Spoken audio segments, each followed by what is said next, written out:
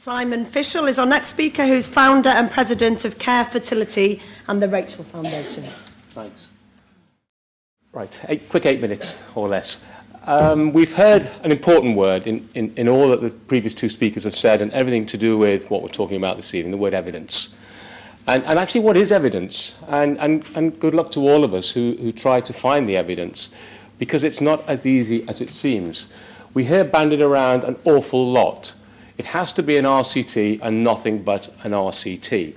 But those experts who deal with evidence know full well that there are whole uh, a number of ways, a lot of ways in which evidence is gained, but what is the acceptable evidence? What is that evidence that's going to be used to support what eventually we're going to do as a discipline? And in fact, if you look at randomized controlled trials, it sits somewhere in the middle of what some authorities call unfiltered information in its own right in any event. They need to be on to more systematic reviews. And sometimes, even when we have those, we get comments such as, well, there's not, not enough of them, or they're not appropriately done or performed. We know that RCTs themselves, there are problems with many of them. So what is the evidence going to be that uh, drives what we're going to try to achieve. Let me give you an example. So uh, um, in about 19, uh, 2007, there was work done to try to improve the PGS uh, that it was at that time, which was believed to be inadequate, least, not least because it was only doing five to nine chromosomes instead of the whole range. And the first baby was born using a technology that allowed us to look at all the chromosomes. And then there was a cry, we need an RCT to, take, to assess polar body use of what was called array CGH technology. So hats off to ESHRE. ESHRE decided they were going to go ahead and do the RCT. And they formed the ESTEEM trial in 2008 to undertake this multi-center study, RCT, across a few European clinics. And it was the first randomized trial of 23 chromosome testing for polar bodies using array CGH. Nine years on, where are we? No information, no data. Any patients who may have been benefited by this technology wouldn't have been allowed access to it because their lives would be on hold because the RCT hasn't yet delivered. And will it deliver? We don't know. But in the meantime, the field has moved on from polar bodies. It's moved on to day three blastomere biopsies. It's moved on to uh, blastocyst biopsy, as we call it, trophectoderm biopsy.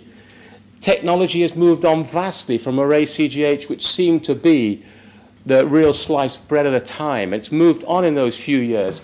Quantitative PCR and now next generation sequencing. This is all the rage, and it's highly accurate technology.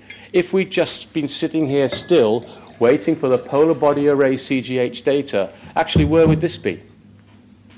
So do we need an RCT for everything? Um, Hans Evers, editor of Human Reproduction, recently wrote an article on this, which is worth reading if you, if you haven't done. That's his conclusion. No. I've taken a little poetic license. That's the first line of, of the article, and of course it goes into further detail as to why he says that. But it raises almost more questions than it answers, it, this article, and, and it's worth a read. So I, I recommend that to you. But I did think the answers were going to come from this paper. Uh, this was one about the adjuncts in the IVF lab. Where is the evidence for add-ons?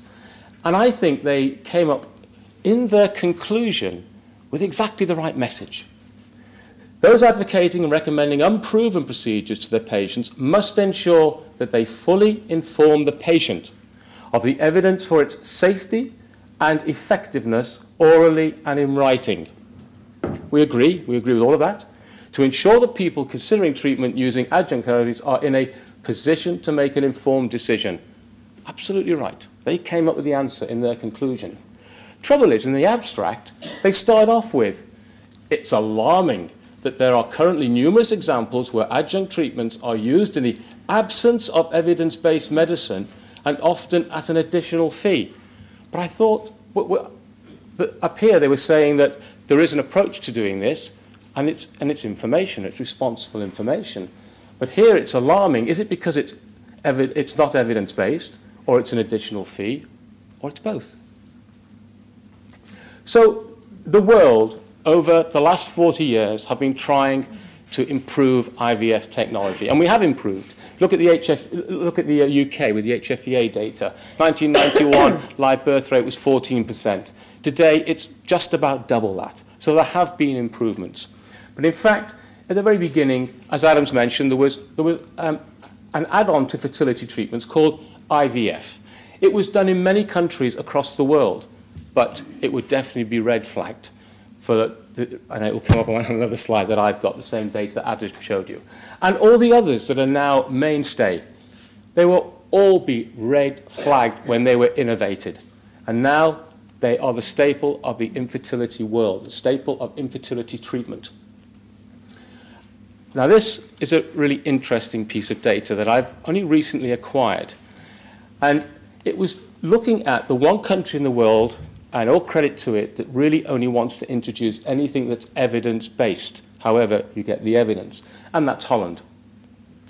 And here's the data of the 13 clinics in Holland and their live birth rates. And these are the top 13 clinics, because I might as well pick the sweet ones, in the UK and the US. And what did it show? Interestingly, here we have all the uh, data, about 23, 24% was the highest from about 13% of the Dutch clinics. There is the HFEA audited data for the United Kingdom, and that's the SART data for the US. And that is the UK national average, which sits just above the best clinic in Holland that only uses evidence-based approaches doesn't say very much, and it might put the cat amongst the pigeons, but you know, I wonder if there is a connection to trying to be responsibly innovative in our practice. And let's not forget these guys, as Adam mentioned. And here you can see that, you know, how long were they going to fight the battle? And Adam's shown you the data here, and clearly if they'd stopped at 466 cycles, they wouldn't have even managed a 1.8% per embryo transfer pregnancy rate or live birth rate. So that doesn't even take into account what was going on simultaneously. And of course, many of you may know. One minute, Simon. I'm, I'm just, Well I'm just finished. One, one of you, many of you may know that if it wasn't for the Del Zio case in the United States, they may well have had the first IVF baby. It was going on in many parts of the world. And if you added that to here, the success rate would be even lower. Many of us in this room, if not all of us one day, will be very grateful to the add-ons to medicine, the unevidenced breakthroughs that these guys had done over the years in the history of medicine. But I have to also just mention here Leonard Thompson, because he was the patient, 14-year-old boy, that was to get this unevidenced first treatment of the first production of insulin.